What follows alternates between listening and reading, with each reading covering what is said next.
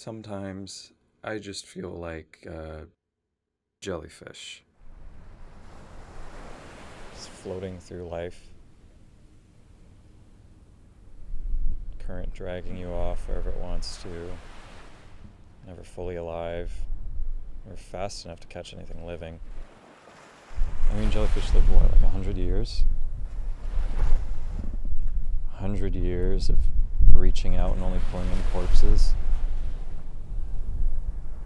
A million arms and no one to hold them with. Just a floating plastic bag of hollow guilt. You know what I mean?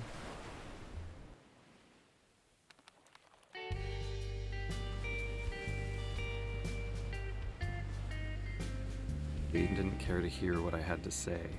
I know that. But I wanted to talk anyway. The problem with most people, they can't see past themselves. They don't care because they don't understand. And they don't want to understand. People have always been my problem. At least ever since my first girlfriend, freshman year of high school. If she was a sea creature, she would be an anglerfish, because she tempted me with her affection when really she just wanted something to sink her teeth into. She would come over almost every day and had such a distinct smell, kind of ashy, but I liked it. Almost like cigarettes, but that can't be it because she told me she didn't smoke.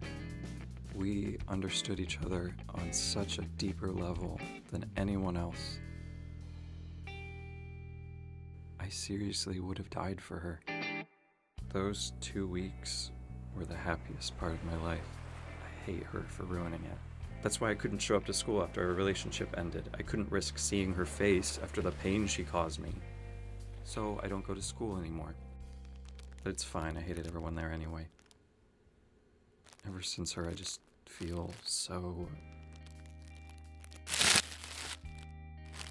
If my mom was a sea creature, she would easily be a shark. But not a nursing shark, or any of the nice ones. She's a bull shark.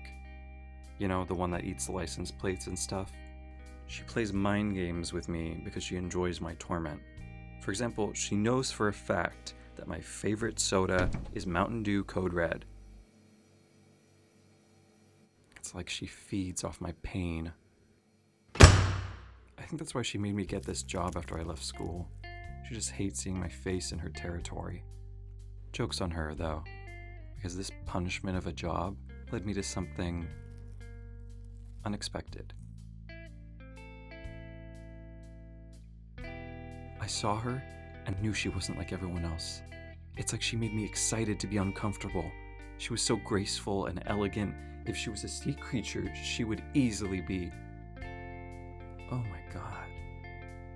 Our first interaction did not go well. Hi, can I get a medium popcorn?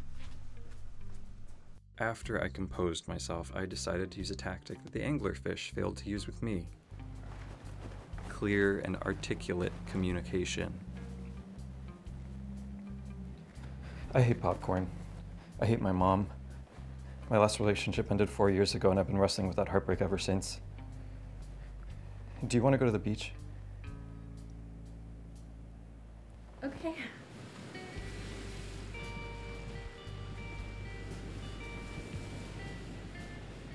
So, tell me more about this heartbreak of yours. I don't really want to talk about it. Oh, that's totally fine. It was probably the longest, most committed two week relationship of my life. It's probably the only time in my life where I will feel like my complete self. Without her, I just feel numb. Like nothing matters. Yeah, um. I kind of felt that way too after my dad died. Right. It's, so you know how I feel. It's kind of the same thing.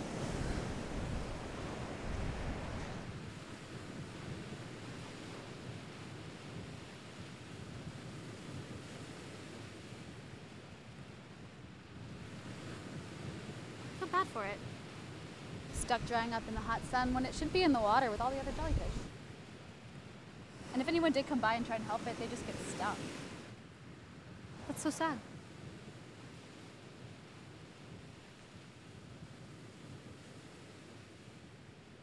She's perfect. Maybe a jellyfish doesn't have to live in isolation.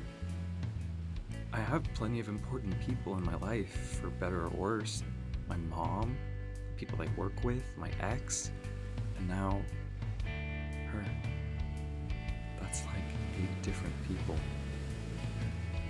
Maybe I'm not a jellyfish at all. I'm like some sort of octofish. Yeah. The ocean's a big place. People are awful, but maybe the many shouldn't ruin it for the few. Maybe things won't be so bad after all.